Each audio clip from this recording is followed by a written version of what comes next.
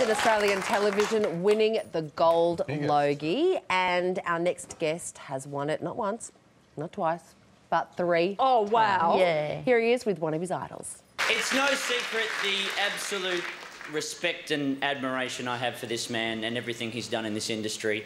Uh, what's less known is the affair we had back in 86, but wild times. um, but, oh.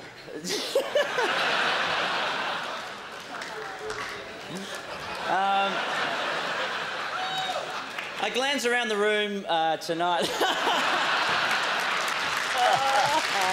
Please welcome Rove McManus.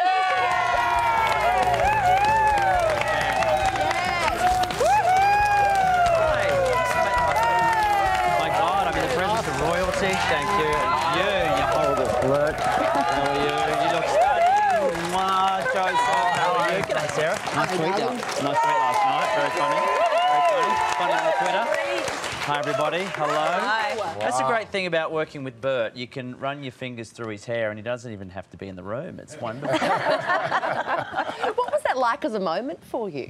It was very special because uh, I guess, as we just saw, um, Bert holds a special place uh, in a lot of Australia's heart, let alone those of us who work in the industry. And for people like me who work in the variety, light entertainment, uh, talk genre, he's one of those guys that helped forge the path. So to receive a gold from him meant, meant a lot, meant a lot. Yeah. And you're one of, I've- I've read a lot about you, and you, you're one of those people who actually worked really hard and actually Oh, set let's out not to. let that get out. no, no, that's right. Let's not ruin your reputation. But you actually you, you studied the greats. You worked really hard to to become a comedian, to become a successful TV personality. Uh, what was it like actually getting that gold logie for the first time and thinking, I've arrived? Well, that's what it is. Is I set myself just a little uh, goal when I first started when I was doing community television, and I thought Channel 31. Channel 31, which is like, you know, you need to get someone on the roof with like a coat hanger to get reception. And I thought that was uh, like 96, 97. And I thought in five years, if I get an invite to the Logies, I've done okay. And within five years, I'd won my first award. So, so that was pretty cool to, to even just be there means a lot. And, and what we do is for the people watching at home, and when they enjoy it enough that they want to reward you with one of those funny little statues means means a lot. Yeah. And, and I think for everyone, you're just so gorgeous and lovely. and You. and I mean that Try and keep your hands um, off. I while make no guarantees. Oh, at the end of you know when you'd have your Rove show and you'd say say hi to your mum Yes. for me. I mean all of that was just so. Well, I took my mum to. I actually did take my mum to the Logies one year. Did I think it was actually Mother's Day that that day. That's right. It was Um, this, this yeah. year too. So um, so that was kind of cool after all those years. It's nice to. Uh, I'm, I'm one of those people. I am an unabashed Logies fan. I have no cynicism towards it whatsoever. Um, but it's still nice to take someone else into the craziness and watch them get excited about. Oh my God, it's Denise Drysdale or whatever. Oh, oh my God, Tony. it's Rove. Like, Yeah. Mum was saying that a lot during the night. I let her get one selfie and then I was like, okay, calm down. What was the best you advice win your mother ever gave you? It was. Oh, was. Sorry, what, What was it? was I thought it was the selfie bit. Um, it was, uh, well, really, it was just about uh, when I first said oh, I was going to leave Perth. And I said, oh, I'm going to move out of home. And, and uh, the question was, oh, are you going to move like up the road or to the next suburb? And I said, no, I think I'm going to move to, to Melbourne to try this comedy thing. And she said, if that's what you want to do, go for it. So just that belief. I mean, they probably thought our son is crazy and we'll see him in 12 months sobbing. But the fact that they let me spread my wings and jump from the nest means a lot. How old were you? When... Is that for the question? No, that's. How old was I then? I mm. moved when I was 21. Wow. So that's a big move. It and- was. And Mum lost her baby. Yes, and then she did read in an article years later. I was talking about how, at my worst, when I was living by myself and just struggling to make ends meet as a stand-up comedian, which you, you don't make a lot of money for, and getting to the end of the week and going, or end of the month and thinking, okay, I've only got en- enough money in my bank account to either eat or have a roof over my head.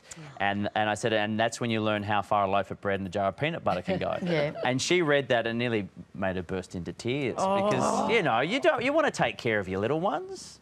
And I'm like, I want to be funny. Now, now to, to win the gold Logie, is it like winning kind of the keys to the showbiz city? It gets you a, a double pass to the Logies for the rest of your life, doesn't Yeah, it? A it does. Logie? It's What else does it get you? Um, it gets you. It gets you free entry into just about everywhere that night. Um, look, it gets you. It gets your name on the red carpet on the way in. Oh, You wow. One year they, did, they had the carpet with all the names, Yeah. didn't? So as you walk through, some people might not know this. When you walk through the red carpet, if you look down, it's a list of every winner. Really? So in some respects, it's people are treading on you as you walk in, which is slightly disrespectful. But one of my favourite things is the, the first award I ever won, taking it back through security when I went to take it to Perth to show my family, and uh, it's just it's a piece of metal, and you put it through the because you're not going to pack it on.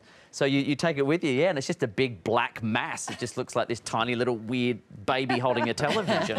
Is it classified as a weapon? It is when I use it, sure. Now listen, you're doing radio at the moment. yes, I am. Well, tell us about it. Okay, Denise.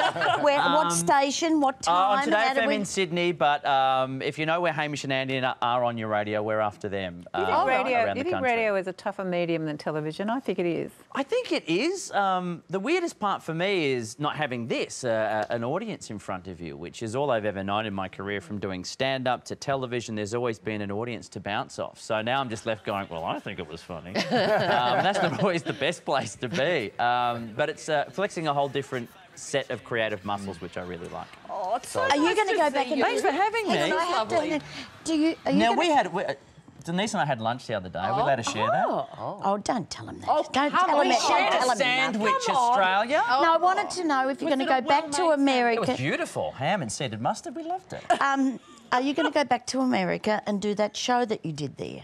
Oh, um, I don't think so. I was. I had a great time working on the Tonight Show as well. That was a big yeah, deal for me. I did uh, close to five years working on that show with a segment that I had, um, which I'm not sure many people are I, probably. I saw some of them. And I got to work with Steve Carell on a show, which was very exciting. Um, and uh, but I've got a little bub, and I'm happy being back. That's and- right. He's, And he's we're so singing hard glad- rap. He's going hard rap. Don't tell secrets. Do-do-do-do-do. We're so happy to hear you on our radio stations every morning on Hit 104.